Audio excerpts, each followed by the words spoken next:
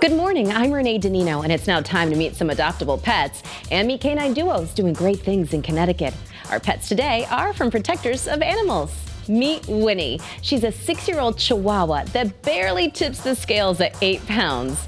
Winnie can play shy girl at first, but adores people and has a personality that fills the room. And she craves human attention and lap time, but she also loves to play and exercise. Winnie has shown friendly, playful interest in the other small dogs she's met and may entertain a small doggy roommate in her new home. Now, meet Cricket, a gorgeous, petite, fluffy two-year-old girl with a big tail and even bigger personality. She loves to be the center of attention, happily playing with toys or with the water in the sink.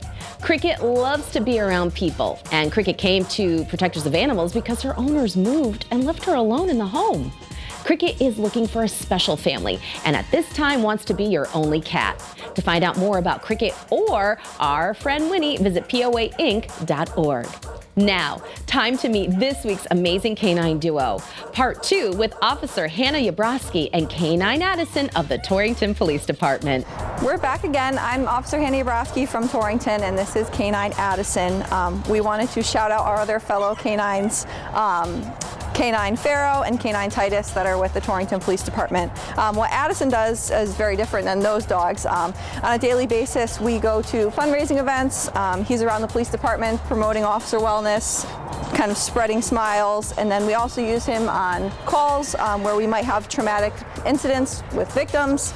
One of the most profound calls that I've used him on so far has been a domestic violence situation where the children were safely removed from the home where the incident occurred and Canine Addison was able to go out in the backyard and play with them and put them at ease in a way that couldn't have been done without him. Um, so his impact has been has been amazing to say the least. We're very excited to see what other calls he's able to go on. He is on Instagram if you guys want to follow him. It's Canine Addison. He has his own page. You get to see all of his adventures. People and pets. When we're kinder to animals, we're kinder to people. Be sure to follow me on Facebook and Instagram for more adoptable pets and stories. I'm Renee DiNino.